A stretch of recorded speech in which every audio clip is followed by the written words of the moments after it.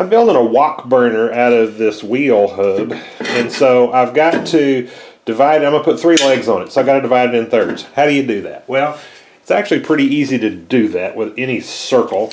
Get your you're trying to find the radius, okay? So get your diameter, and this one's 13 and a quarter.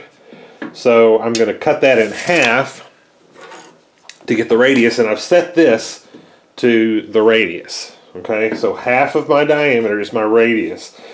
And this one's a little difficult because the edge drops off, all right? But what you're going to do is start right on the edge and make you a mark.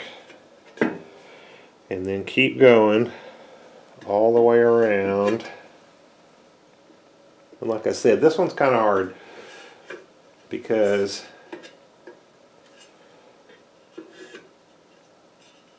the edge drops off.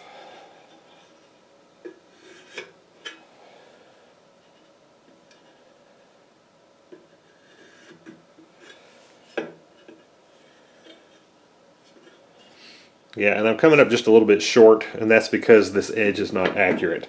Y'all now have one, two, three, four, five, six marks. So if I just use any two of them, so I've got, if I take this one, skip this one, there's my second one. So let's just put a mark.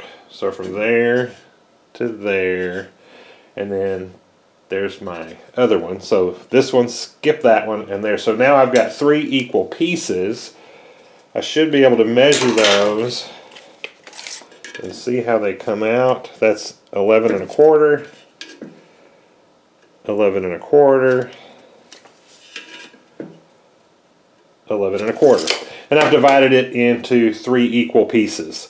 Now, if, I, if I'd had something with uh, good edges on it, I probably could have gotten that exactly perfect. This is good enough for what I'm doing. Anyway, hope that was helpful to you. Thank you for watching.